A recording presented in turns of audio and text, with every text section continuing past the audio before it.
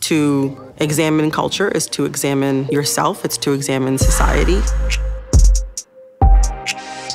For years, I specifically did Black culture, Black media. Something that I learned doing that work is that you cannot extricate society, government, politics, pop culture, like the fluffiest topic intermingles with some of like the most consequential topics that you can discuss.